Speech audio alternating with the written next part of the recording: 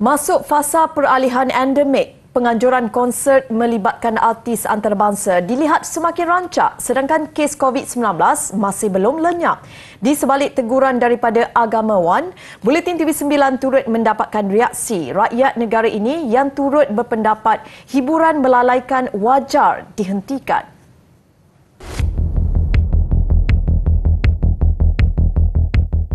Orang ramai yang ditemui berpendapat acara berbentuk hiburan perlu dikurangkan kerana ia dikhawatiri mengundang masalah sosial yang lebih teruk.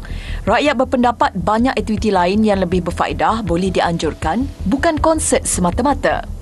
Dari segi pelancongan kan, bagi saya banyak lagi semua lain boleh buat. Personally, saya memang agaknya berhentilah sebab benda tu memang sini majoriti Islam itu pendapat saya itu je. Kalau ke arah benda yang tak baik buat apa? Ha, betul. Hmm. Tapi kalau ada yang cakap dia bawa pelancong makcik, macam mana makcik?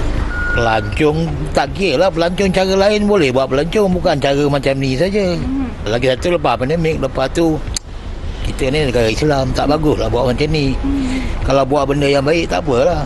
Sebab dia melalaikan rakyat. Hmm. Bila rakyat lalai.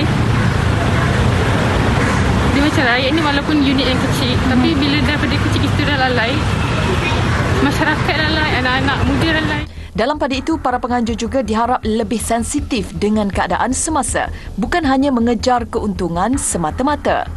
Abang rasa tak patut benda ni. Sebab? Benda ni yang tak elok lah daripada segi agama kita kan. Ha, nak cari duit, cari jangan cara. Betul lah, cari banyak lagi stress untuk cari benda. Cari income untuk Malaysia ni kan. Baru lepas pandemik. Lagi tu benda ni pandemik ni tak hilang lagi. Masih banyak lagi. Masih ada ada lagi berjala. Sebab memang memang tak elok lah bagi kita. Kan benda-benda macam ni. Benda-benda orang panggil benda larau. Semalam isu sama turut mendapat perhatian Menteri di Jabatan Perdana Menteri Hal Ehwal Agama Datuk Idris Ahmad yang menegur keterujaan belia negara ini menghadiri persembahan konsert hiburan oleh artis popular. Buletin TV9 cuba mendapatkan reaksi penganjur terlibat namun mereka enggan memberikan maklum balas.